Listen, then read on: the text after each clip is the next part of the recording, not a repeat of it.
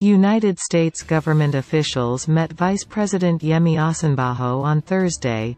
The meeting on the unrest in Nigeria was held at the State House in Abuja. The delegation was led by Ulrich Brechbuhl, counselor of the U.S. Department of State. It included Assistant Secretary for Democracy, Human Rights and Labor, Bob Destro, and Assistant Secretary for Conflict and Stabilization Operations, Denise Natali. Brechbuhl conveyed the regards of the Secretary of State Mike Pompeo. Pompeo had issued a statement on the situation in Nigeria.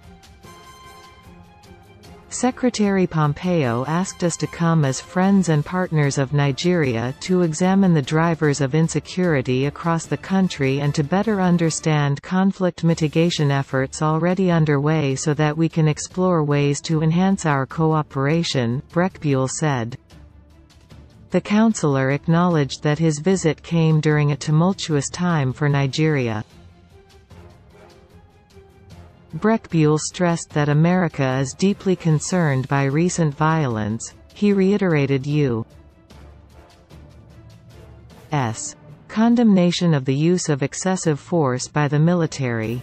Soldiers fired on unarmed protesters at the Lekki toll gate in Lagos on Tuesday. The official offered his deepest condolences to the victims of the shootings, Brechbuhl demanded that those responsible be held accountable under the law.